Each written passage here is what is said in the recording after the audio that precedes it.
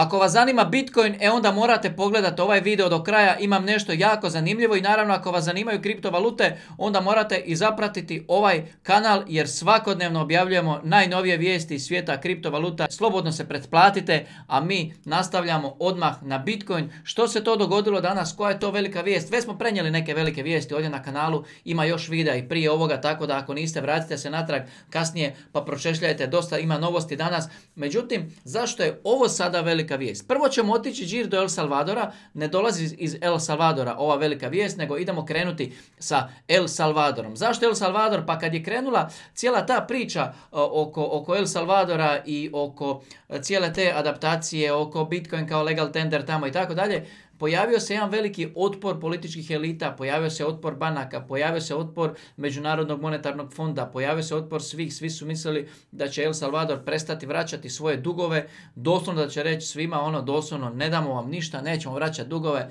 prelazimo na Bitcoin, doviđenja, ne možete nam ništa, Bitcoin je sloboda, idemo i to je to. Međutim, što se dogodilo?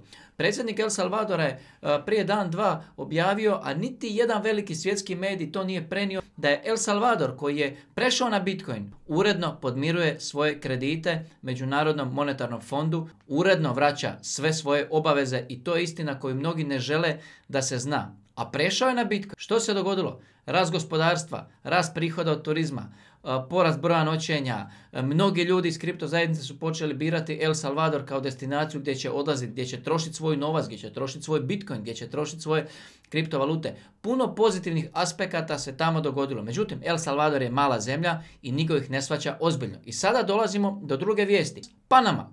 Zašto sad Panama? Što ima u Panami? Pa Panama je odradila skoro sve korake od premijera, predsjednika, svih tih njihovih, ne znam kako ide ustrojstvo te države, ostao je još samo jedan jedini korak, a taj jedan jedini korak zove se Vrhovni sud. Uskoro je ostalo da Vrhovni sud potvrdi odluku po kojem se u Panami legalizira Bitcoin kao legalno sredstvo plaćanja. Da bi shvatili zašto je ovo mala, a velika vijest, ja bi svakako volio da prođemo kroz par faza Bitcoina. Jeste li spremni? 2012. godina. Koji je bio narativ? Bitcoin. Pa to niko živ ne koristi, ljudi moji. 2013. godine. Pa to koriste samo kriminalci. To je samo za drogu, za loše stvari, za šverc, kriminal. 2015. godine.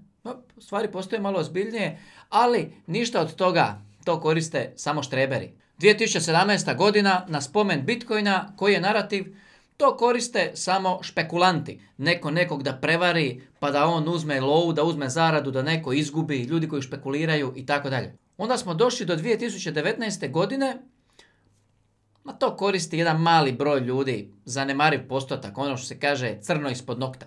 I 2020. godine kažu, ma gledajte, ok, tu je, postoji, međutim, nema tu velike primjene, to koriste samo male tvrtke. Ono, male neke tvrtke, nema velikih igrača tu, to je zanemarivo. I svih ovih godina, svi ovi narativi su pobijeni. Sad ćemo doći do ovog zadnjega. Međutim, svi narativi su pobijeni i ovu godinu smo dočekali sa 420 miliona ljudi u kriptovalutama, u Bitcoinu, u priči koja je nezaustavljiva. I sad kad su potrošili sve te argumente, kad su se svi pokazali ispraznima, nakon El Salvadora, nakon svega, sad kad se dogodilo ovo sa Panamom, znate li koji je sad narativ koji se gura? Ma gledajte, nikad od toga ništa, to koriste samo male zemlje.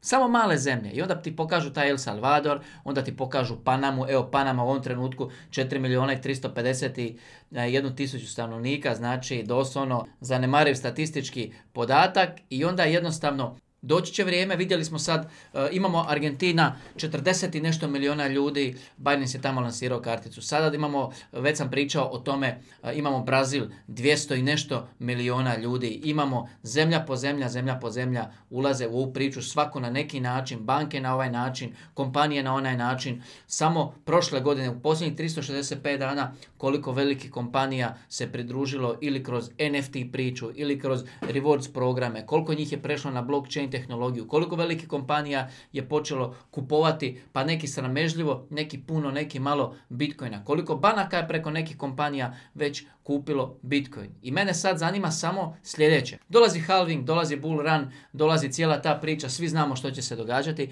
i mene sad zanima samo kad se potroše ovi izgovori, sad je taj najnovi, to koriste samo male zemlje, mene zanima u cijeloj priči koji će biti sljedeći izgovor.